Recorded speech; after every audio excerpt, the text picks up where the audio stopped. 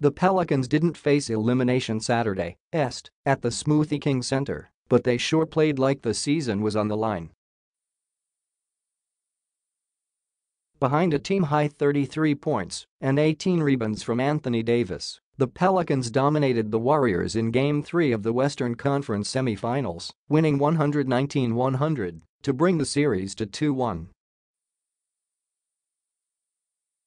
Jrue Holiday added an efficient 21 points, and Rajon Rondo dished out an incredible 21 assists, one dime shy of matching the entire Golden State roster.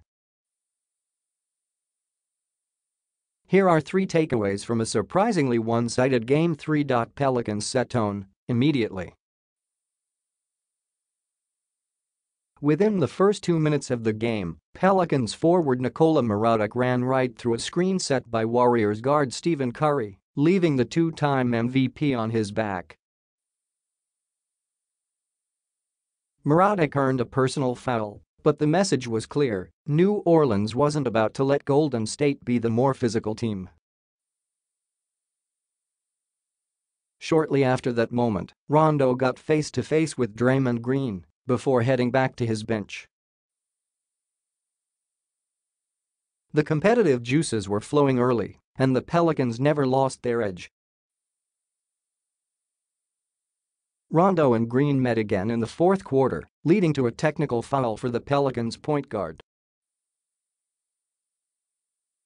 For the most part, though, New Orleans maintained its intensity without losing control of the game. The Warriors took a punch and never truly responded. Slowing down Warriors stars. It's tough to stop a Golden State offense with weapons all over the floor, but New Orleans is one of the few teams with enough length and athleticism to at least present a challenge. The Warriors shot 38.9% from the field as a team and only 30.0% from three-point range in Game 3, those aren't numbers you see often. The Pelicans stuck to Curry when he came off screens or tried to lose his defender in the pick and roll. It took him 19 shots to hit 19 points, and he only had two assists. Kevin Durant didn't fare much better, scoring 22 points on 8 of 18 shooting, 1 of 6 from beyond the arc.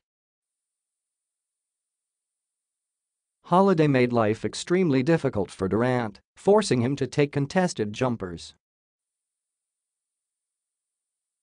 Klay Thompson exploded for 20 points in the second quarter, but outside of that stretch, he was limited to 6 points. Thompson is shooting only 30.9% from the field in his last two games, though some of those attempts have been clean looks.